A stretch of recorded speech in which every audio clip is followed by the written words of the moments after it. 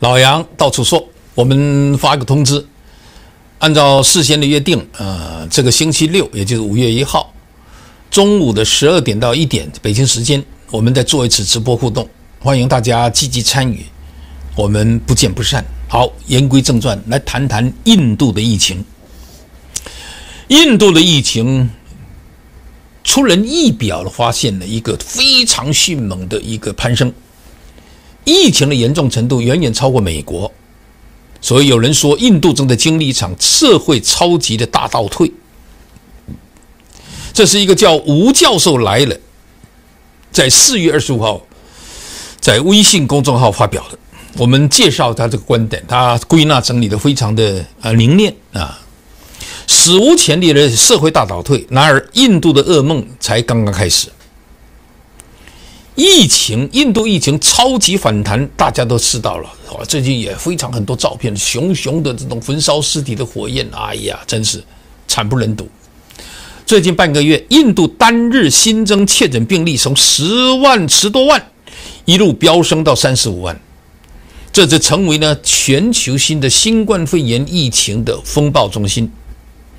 过去一年，西欧、美国、南美、西亚。都成为疫情的风暴中心，而印度现在不叫风暴中心，叫超级风暴中心。印度的疫情形势和影响跟过去这些不一样，因为印度的疫情，吴教授说有可能引发新世纪以来最严重的人道主义的危机。第一，印度疫情必将超过美国。超级风暴中心是有理由的。第一，全世界这样确诊人数最多的有十个国家，依次是美国、印度、巴西、法国、俄罗斯、土耳其、英国、意大利、西班牙、德国。印度单日新增病例的总量大于美国、巴西、法国、俄罗斯、土耳其、英国、意大利、西班牙和德国。印度是以百分之十七点九的全球人口占比。也就是十三点六亿除以七十六亿，产生了超过百分之三十的日平均新增的确诊，很可怕。第二，到了二十五号，印度单日新增确诊的病例连续十二天超过二十万，也就过去一个星期，印度新增超过两百万的确诊病例，这是什么概念呢？也就是过去一个礼拜的印度的新增病例。占了印度全国总确诊病例的百分之十二。第三，印度持续刷新了本国单日最高新增记录和全球单日单个国家新增病例最高的记录。现在全世界累计确诊第一的是美国，大概是三千三百万人万例。第二大呢是印度，一千七百万例。美国呢最多的时候呢也是三十万左右。前期经过震荡，也是在三十万例以后就急速的下降。但印度新增的确诊是三十万以上，还在指数性的上升。上升了什么不知道，是六十万、九十万不清楚。反正印度现在很可怕。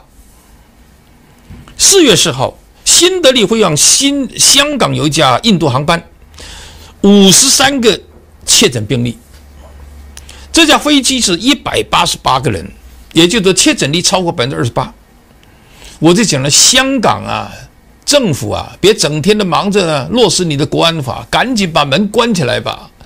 印巴裔的人的香港是不少的，而且很多新来的确诊病例都是香港印巴裔这个地方出来的，所以要做很多严堵才行啊。一架飞机一百八十八个人，有五十三个人是确诊病例，所以呢，印度。累计确诊的病例超过美国，毫无悬念。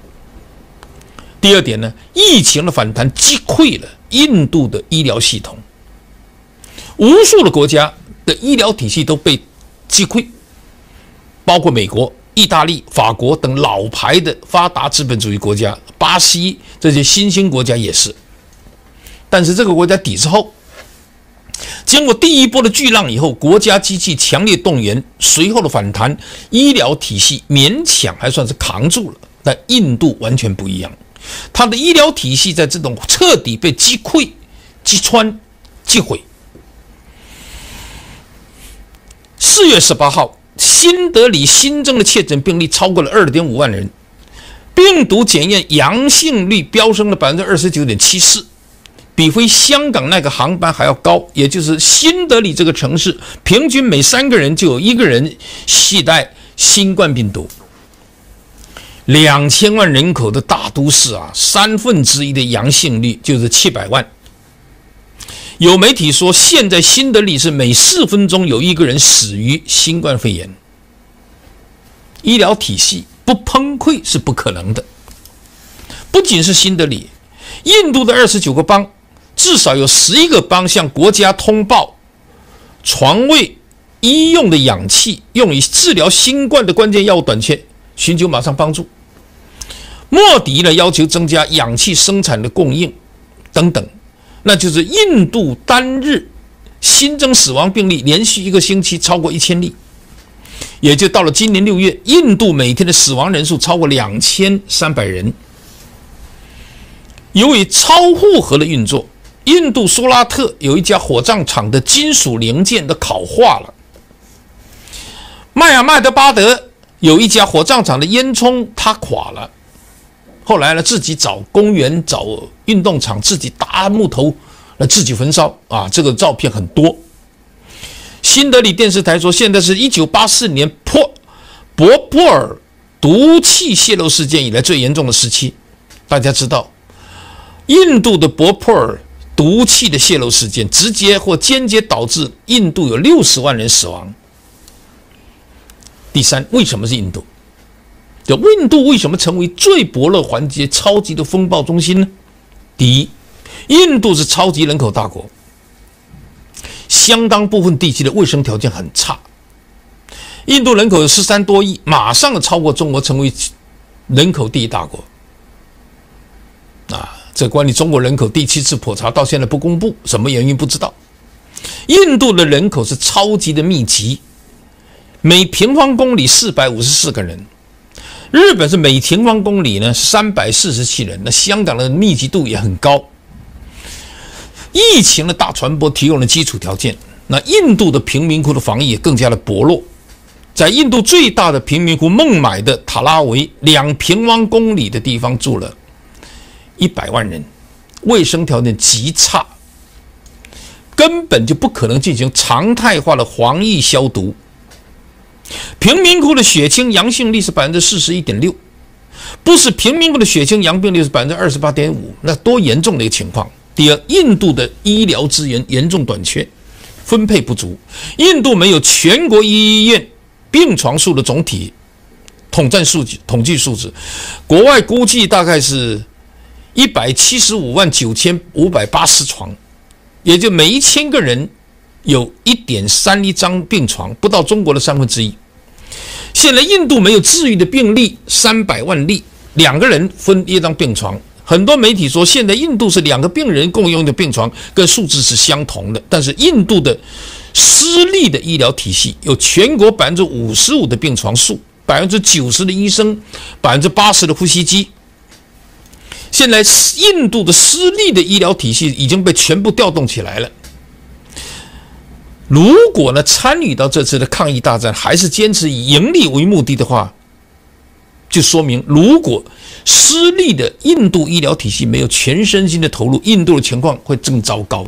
第五，印度的居民不配合，严重制约了抗疫的效果。整个全世界来看，疫情爆发以后，筷子文化圈、奴家文化圈的中日韩越是全球抗疫最成功的。拿刀叉、拿咒物都不行。欧美国家散漫惯了，戴口罩都不行，要抗议。但是现在已经明白了，配合了，文明程度比较高。印度完全不一样。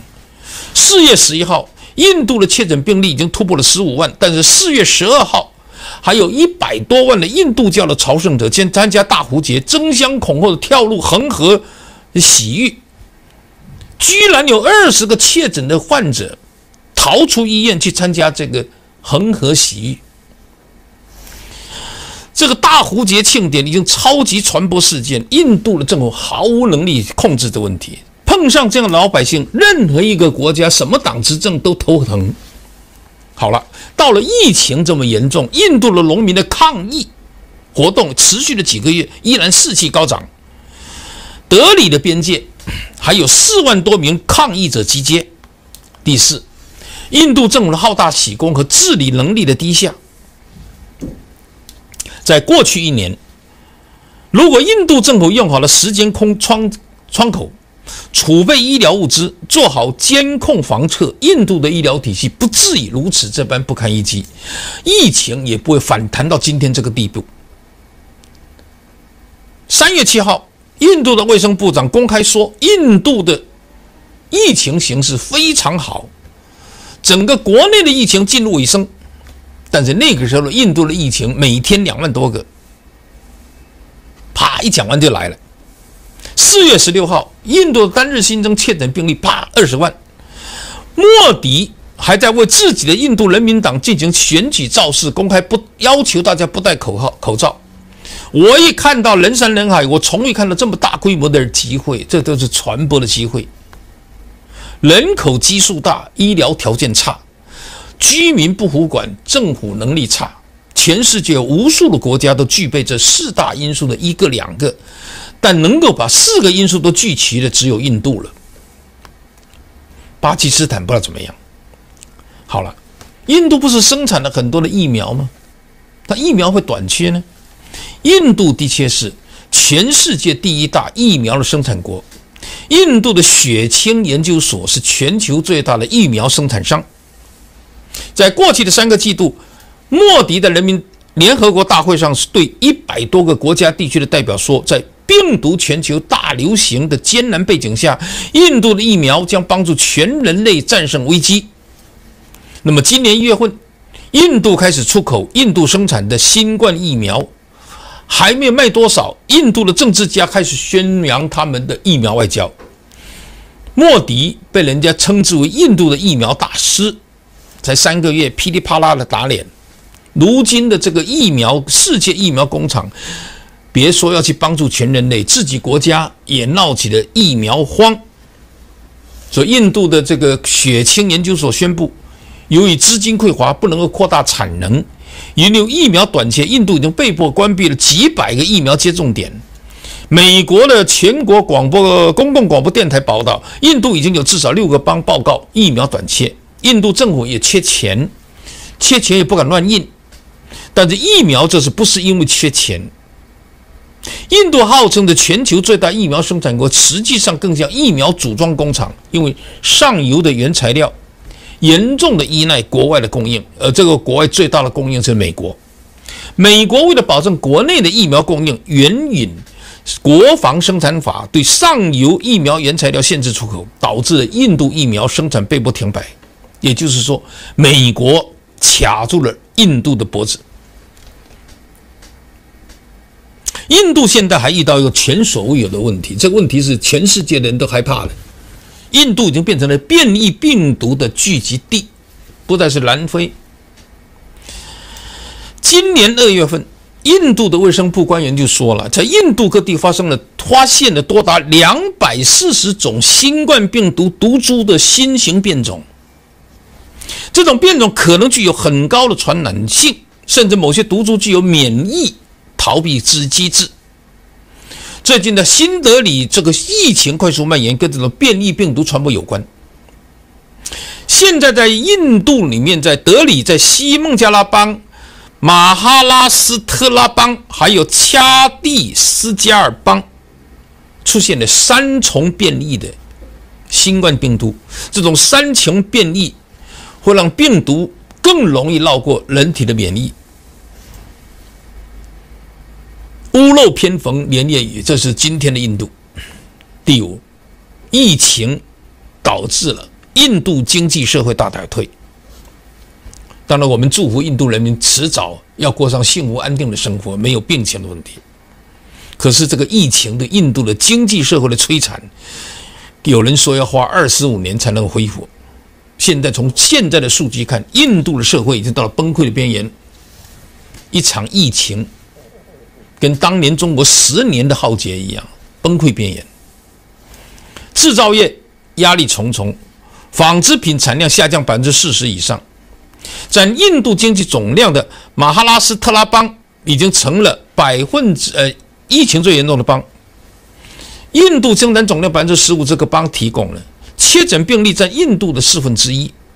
当地的工业、电子、商务十五天的严格限制，所有的工厂、所有行业停工，所以大量的外资企业被迫重新的停工，失业率反复上升，销售零售业下跌百分之四十，也就是印度的零售业每天损失多少？两百六十亿人民币，三千亿的卢比。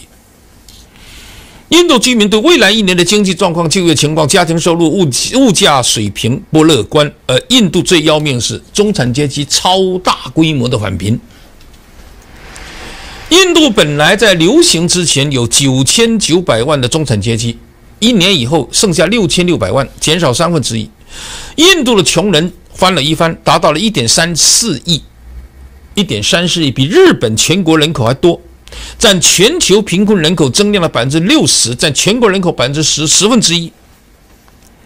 他们国家也做不到脱贫，绝对贫困。嗯，而印度现在的货币金融体系危机重重，印度存在着严重的国际收支不平衡。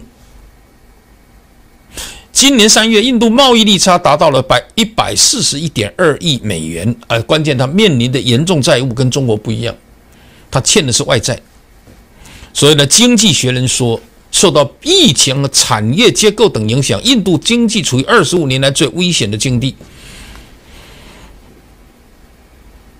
第六，如此这般，怎么可能存在龙象之争呢？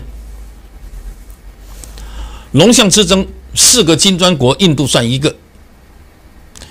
龙象之争的上个世纪争夺的是世界话语、第三世界话语权和边境控制。现在是印度经济想要超越中国经济，印度制造想要取代中国制造的理想很丰满，现实很骨感。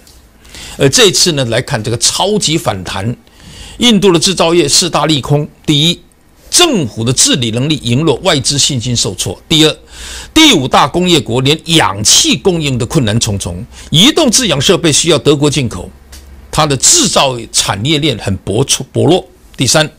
恶化了政府的财政，严重拖累了政印度的基础设施完善，拉低制造业的竞争力。第四，社会可能进一步动荡，对内打击产业发展，对外打击国际产业转入。